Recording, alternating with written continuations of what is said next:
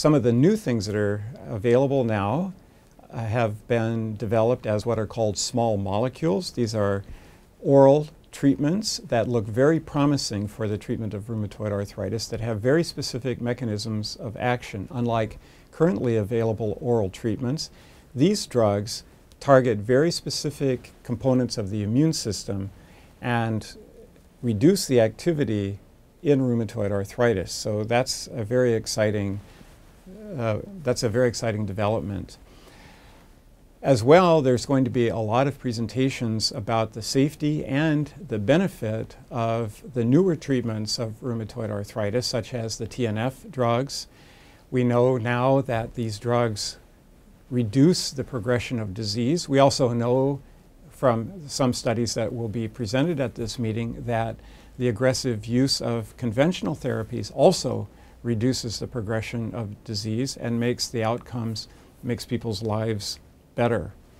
It turns out that the concerns that we've been having about some of the drugs in terms of developing cancers and developing infections still are there. They're not trivial, but they may not be as great as we had thought. There will be new information presented about those kind of things, those side effects related to these drugs. Some of the other things that we're going to see are studies that look at some other effects of rheumatoid arthritis on the body. Rheumatoid arthritis is not just a disease of joints, but it's also a disease that can affect other organs, such as the heart and the lungs.